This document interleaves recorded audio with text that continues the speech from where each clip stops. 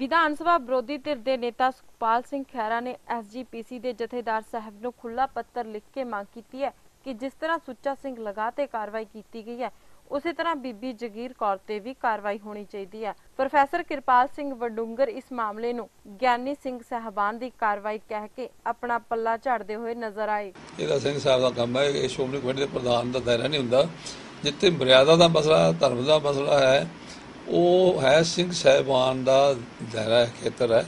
ਉਹ ਇਹਦੇ ਤੇ ਵਿਚਾਰ ਉਹ ਕਰਦੇ ਨੇ ਸ਼੍ਰੋਮਣੀ ਗੁਰਦੁਆਰਾ ਪ੍ਰਬੰਧਕ ਕਮੇਟੀ ਇੱਕ ਪ੍ਰਬੰਧਕ ਕਮੇਟੀ ਹੈ ਜਿਹੜੀ ਗੁਰਦੁਆਰਾ ਸਾਹਿਬਾਨ ਦੀ ਸੇਵਾ ਸੰਭਾਲ ਕਰਦੀ ਹੈ। ਔਰ ਉਹ ਪ੍ਰਬੰਧ ਸਹੀ ਢੰਗ ਨਾਲ ਚੱਲੇ ਗੁਰਦੁਆਰਾ ਸਾਹਿਬ ਦੇ ਸਹੀ ਢੰਗ ਨਾਲ ਪਾਠ ਹੋਵੇ ਕੀਰਤਨ ਹੋਵੇ ਕਥਾ ਹੋਵੇ ਉਹ ਗੁਰਦੁਆਰਾ ਸਾਹਿਬ ਦਾ ਰੱਖ ਰਖਾਵ ਠੀਕ ਢੰਗ ਨਾਲ ਹੋਵੇ।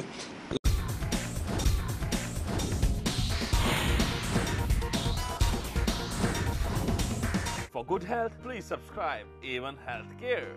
For better music, subscribe A1 Music. For best informational programs, please subscribe A1 Punjabi TV.